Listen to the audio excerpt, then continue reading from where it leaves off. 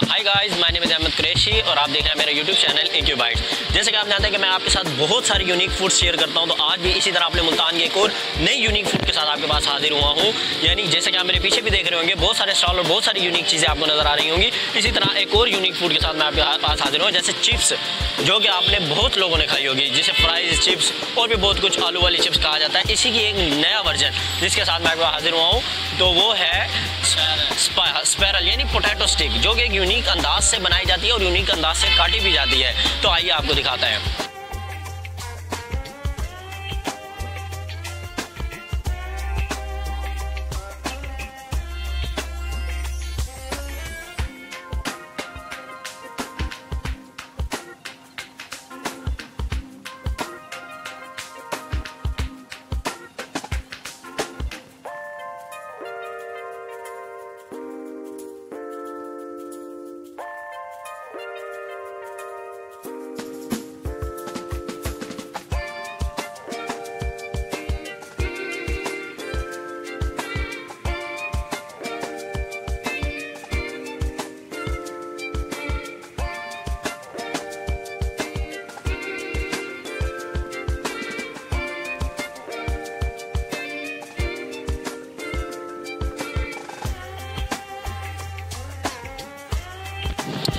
जनाब ये बन चुकी है और भाई से हम लेते हैं और जनाब बहुत क्रिस्पी भी लग रही है और खुशबू भी इसकी बहुत अच्छी आ रही है। तो फिर टेस्ट करके आपको बताते हैं ये कैसी लगी।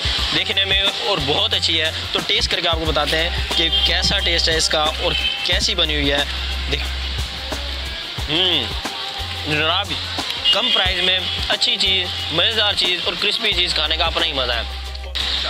और जो लोग बाहर से टूरिस्ट आते हैं हमारे मुल्तान शहर में, गुलगत साइड पर तो आकर ये चीज़ बहुत ट्राई कर सकते हैं। थोड़े कम पैसों पर अच्छी चीज़ बहुत अच्छी लगी। और मेरे यूट्यूब चैनल को सब्सक्राइब भी कीजिएगा और थैंक यू सपोर्ट भी कीजिएगा। अल्लाह हाफिज़।